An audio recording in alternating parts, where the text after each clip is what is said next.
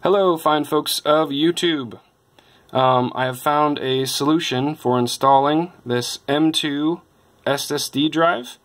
Um, the motherboard that I'm installing it on um, came with these screws right here.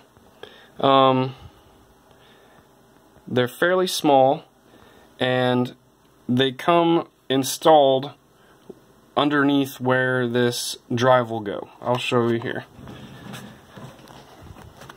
Flashlight on. Okay. That third hole right there, that is where I pulled one of those little screws out of. Um, I was thinking initially um, that I just needed to screw something else into that, uh, but the hole is far too small. Um, so once you get this all lined up, trying to use a single screw like the one I showed you before. If you just use one, it won't button down like the it's too short uh, to reach. So I ended up pulling uh, another one of those out from higher up on the motherboard. It just wasn't being used. And I found that putting them both together like this that gap in the middle actually allows for enough space to tighten down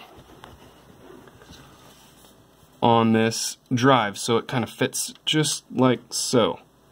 And then putting it down now since they're stacked one on top of the other,